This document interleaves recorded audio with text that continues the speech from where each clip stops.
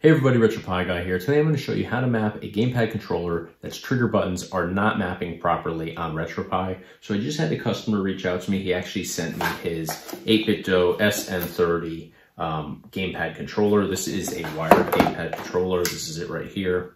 Um, I'm not super familiar with these. I have almost exactly the same one, but the Bluetooth version. Um, I believe it's a, it's this guy right here.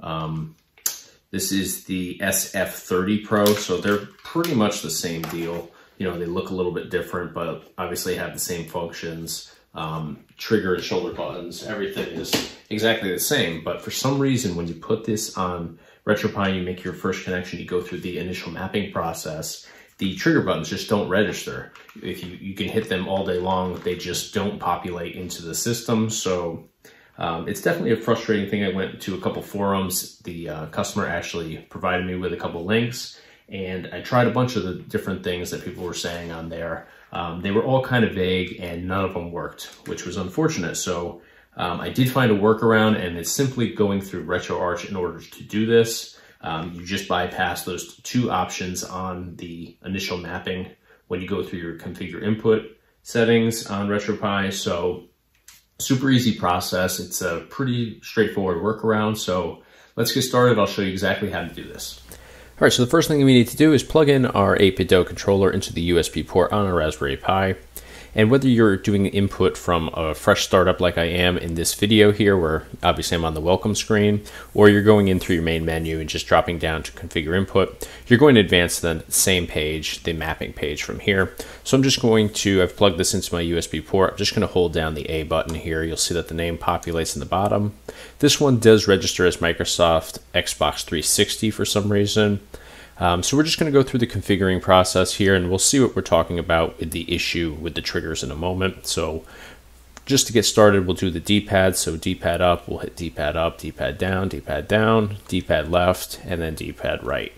We're going to hit the start for start, select for select, and then the mapping for these buttons is A, B, X, Y. So we're going to do A for A, B for B, X for X, and Y for Y. Left shoulder, right shoulder. So here's where we run into the issue with the left and right triggers not registering for this particular 8BitDo controller. You can see here um, for left trigger, I'm hitting the L2 button. Nothing's happening here.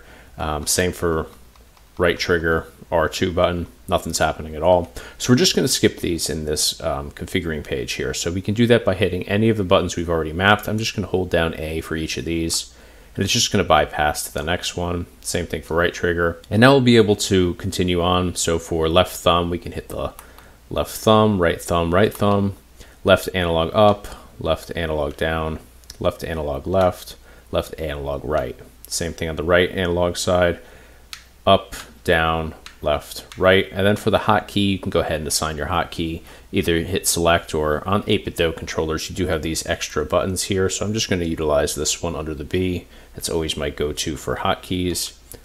And then just to confirm all these, we're going to hit the A button here. So now we can see that we're able to navigate this with our D-pad. So I'm going to show you exactly how this is working without mapping those um, trigger buttons. So let's jump into a PlayStation game.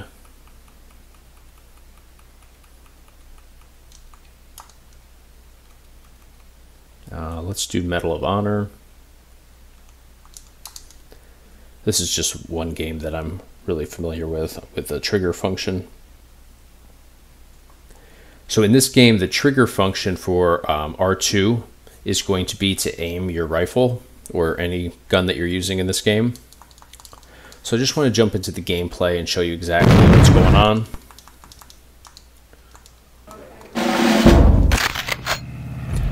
Alright, so I'm going to just hold the R2 right trigger button here. You can see that obviously we didn't map anything, so nothing happens. What should be happening if this was mapped is you would get your crosshairs up here and you'd be able to aim your rifle. So as of right now, I'm not able to do any of that you can see on here nothing works and um, also another function I want to be able to utilize is my analog sticks on here which in this particular game is empowering this. That's not the point of this video, but I'm going to actually show you how to go ahead and make that work as well on here. So let's exit this game. And I'm going to show you exactly how we fix this trigger issue So we need to go into our configuration options settings. Depending on your build, um, it's usually going to be the one that has either a RetroPie or a Raspberry Pi logo on it. So in this case, for this 256 gigabyte card from RetroPie Guy, it's going to be this menu here. And then we're going to drop into RetroArch here. Let this load for a couple seconds. And basically, this is going to give us um, just a more involved version of our mapping. So you'll see that in the bottom left corner, it just flashed the confirmation of which controller we're currently using. So it's going to bring us into our menu here. We're going to drop down to settings and then drop down to the fourth option down, which is input. And now we're going to drop down to port one binds. So now for the analog on here, um, that's actually, again, not the point of the video, but since we're in here, I'm going to show you this. Um, that is the second option here. See how it's set to none? We're just going to go to the right here and bring up left analog. So that means that in those PlayStation games, we're able to control our direction now with this left analog rather than having to use the D-pad, which, you know, I don't think is ideal for PlayStation. All right, so now going down, these are all of our functions. You can see here we have the B button, X button, we have all of our different options here, D-pad, all of that. So if we go into L2 and R2 here, the two trigger functions, you can see them right there. You'll see that they say key E and key R. So we need to go in and map them here. Obviously it wasn't working in the regular mapping for RetroPie, so we're gonna do it in RetroArch. So for L2, we're going to select it with the A button, and we're going to hit that L2 once we bring it up. So select it with A, hit L2, you see that now we've changed that to, it still says key E, but it says plus two in there uh, with NA in parentheses. So now we go down and do the same thing with R2. Select it with the A button, hit R2, and you'll see that that now says plus five, um, NA in parentheses, comma, key R. So that's all we need to do here. We're going to scroll all the way down. It's going to just loop us back to the top. And this is a super important part of this. You need to hit Save Auto Config. You'll get a little confirmation that says it was saved successfully in the bottom left corner. If you don't save this auto config, it's not going to save any of what you just did. So it's going to be, um, you know, just remain in the default settings. So you definitely need to hit save auto config in order to make these changes. So now we can hit B and just back back out of these different um, pages and we'll go down to quit RetroArch. All right, so now we're back to normal here. Um, I, it's not a bad idea. Just get in the habit of rebooting your system. Every time you make changes like this, it's just a good way to make sure that everything sets and confirms correctly. So I'm going to do that. Jump into main menu, drop down to quit, and just hit restart system here. All right, so we just rebooted our system. So we're just going to navigate over to the PlayStation collection and we're going to jump right back into the same game. We'll jump into Medal of Honor and just test this out and make sure that everything's saved correctly. All right, so here we are back in Medal of Honor.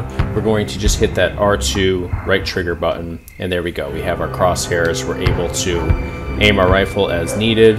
So if we go through this game and just test that function out,